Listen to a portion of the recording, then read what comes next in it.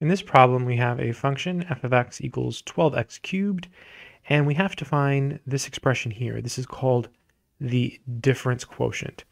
Let's go ahead and work through it. Solution. So the way I like to do this is I like to write this down every time.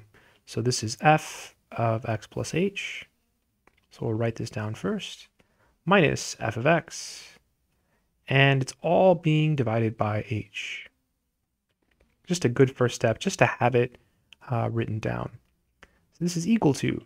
So now we have to figure out f of x plus h. So here is f of x.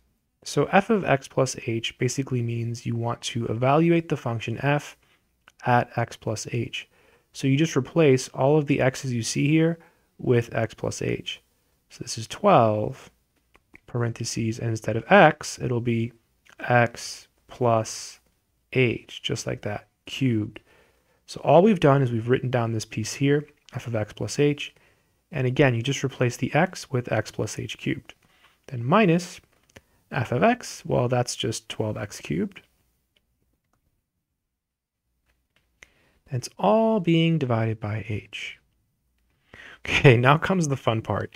So we have to figure out this x plus h cubed. So if you have it memorized, that's okay. If you don't have it memorized, there's a couple ways to do it let's just do it the way that requires like the least amount of like knowledge. So I'm going to go to the side here and work it out. Let me use a different color. So we have x plus h cubed.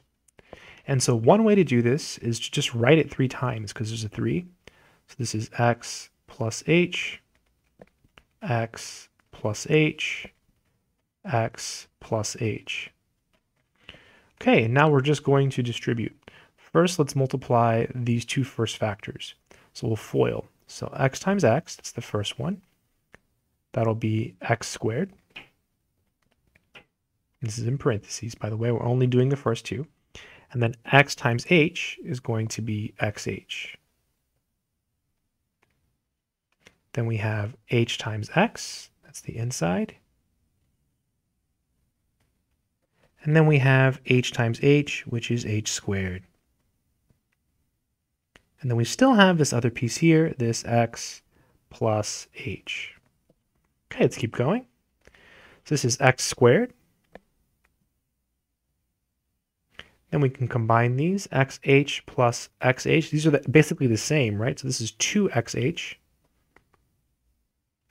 that's because you can write hx as xh, right? So they're the same. So you just have two of them, and then plus h squared, and then x plus h. Okay, so now we have to distribute again. So basically what we'll do is we'll take each of these terms and multiply it by both of these here. So we'll do x squared times x. That's going to give us x cubed. Then x squared times h. That's going to give us x squared h. Then we go to the next one, right? 2xh times x. Well, you multiply the x's, so that'll give you 2x squared h. And then 2xh times h, you multiply the h's that time, you combine them rather, so this is 2x h squared. And then we do the last one, h squared times x, which is just h squared times x. And then h squared times h is h cubed. Beautiful. So this is x plus h squared. Uh, I'm trying to see if we can simplify anything here. Um, I think we can. Look, there's a x squared h here. There's a 2x squared h here. So we can combine those, okay? Um, so this is going to be x cubed. There's really an invisible 1 here. So 1x squared h plus 2x squared h is 3x squared h. Likewise, the same thing happens here. There's 2xh squared, and there's 1h, 1xh squared here. These are the same, right? This is x, h squared, there's a 1 here. So 2 plus 1 is 3, so you get 3x h squared, and then you're left with h cubed. Quite a bit of work um, to do it this way. There's another way to do it. You can use Pascal's triangle. Um, but if you don't know that, this will work, right? Uh, or you can have it memorized as well. So that also works. Okay, so now we can go back and take this and plug it in here. So this is equal to, good stuff, 12 parentheses x cubed plus 3x squared h plus 3x h squared plus h cubed. And this is minus 12x cubed, all being divided by h.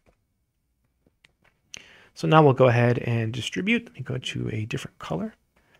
This is equal to, so 12 times x cubed will just give us uh, 12x cubed. And then 12 times this 3x squared h, well, 12 times 3 is 36, so this is 36 x squared h. And then 12 times this, same thing, will give us 36 x h squared. And the last one would be 12 times h cubed, which will just be 12 times h cubed. And we still have this piece here, this minus 12x cubed. And all of this is all being divided by h. All right, some stuff should cancel. Yes, yes it does. Look, these 12x cubes go away, and we're left with all of this stuff. Now notice all of these things have something in common. They have an h in common. So let's go ahead and factor that out. So we have h parentheses 36x squared. So 36x squared plus, and then we're pulling out an h from this middle term. So we'll have one left. It'll be 36 xh, and then plus, pulling out an h from this last term, it has an h cubed, so we're left with 12h squared. That's all being divided by h. These cancel, and so we end up with 36x squared plus 36xh plus 12h squared. And that would be the final answer. It was a lot of work. This is definitely one that takes more time, and it's really because of the cube term, right? You has to you have to do all of that extra work uh, up here uh, with the x plus h cube. Hopefully this video has been helpful. Good luck.